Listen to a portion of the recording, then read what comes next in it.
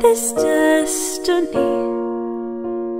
Break these earthly chains and set the spirit free.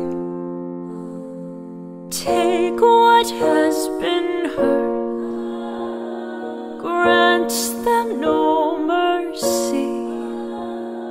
Bend and break the reins and set the spirit speak.